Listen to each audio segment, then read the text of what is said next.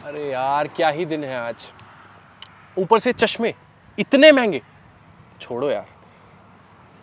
अच्छा वैसे एक बात बताओ, ये महँगे और ब्रांडेड चश्मे पहनने से क्या इंसान भ्रमित हो जाता है?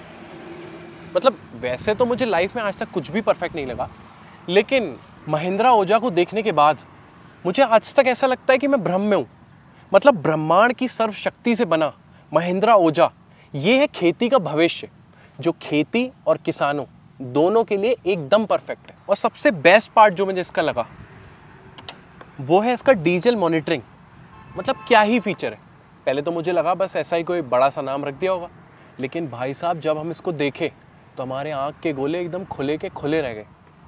मतलब डाउनटाउन में फ्यूल को कोई छू भी ना पाए। और साथ ही साथ में इंस्ट्रूमेंट क्लस्टर से जुड़ा हुआ। और सेफ्टी की तो क्या ही बात करें। जीपीएस तो सुना था ना आपने? हमने भी सुना था।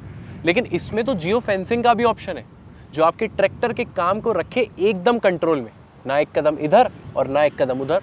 और जीपीएस से आप ट्रैक्टर की लोकेशन भी ट्रैक कर सकते हैं। वो अपनी लग्जरी कार्स की तरह। जी हाँ अब ये कह रहे थे कि खेती में सरलता होगी।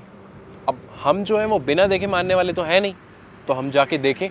तो हमें पता लगा कि इसमें तो फेंडर स्विच का भी ऑप्शन है, जिससे बटन दबाते ही इम्प्लीमेंट चेंज हो सकता है। आराम से लिफ्ट करो लो करो। लिफ्ट करो, लो करो, जैसा चाहें वैसा करो।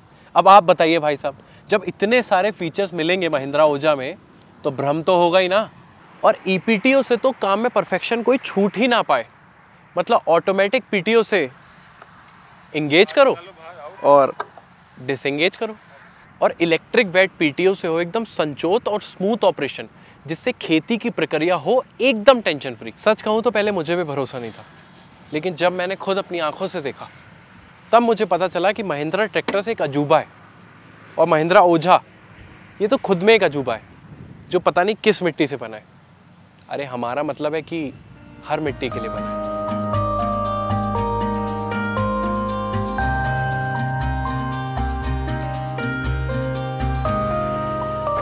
राइट मैंने